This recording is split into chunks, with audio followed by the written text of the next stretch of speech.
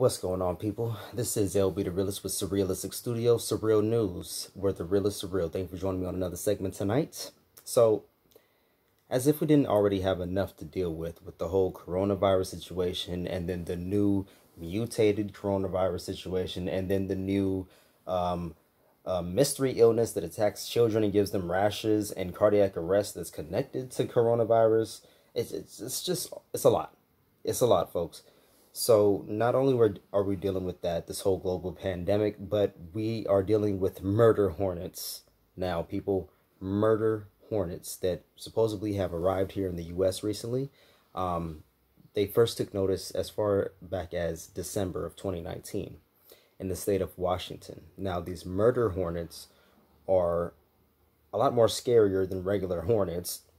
These murder hornets actually um, are attributed to 50 deaths in Japan. That's where they come from. They're, they're coming from the east and they're ending up over here now.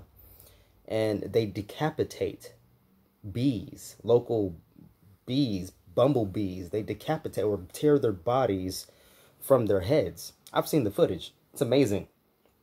This is nature, folks. Um, so we're dealing with these murder hornets now that have arrived in the U.S. They can kill people. Like I said, they kill 50 people a year in Japan.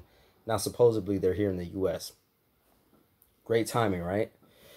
So that's not all. That's but wait, there's more. So not only are we dealing with murder hornets that have migrated from the east to the west, now we're dealing with something called gypsy moths.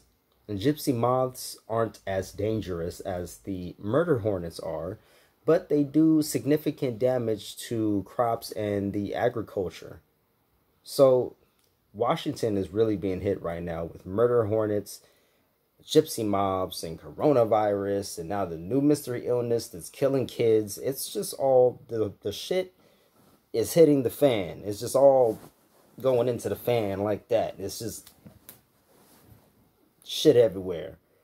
I don't, I don't, I don't really know how else to describe it, folks. It's coronavirus, murder hornets, um, gypsy moths. We got people killing each other in the streets. You know, it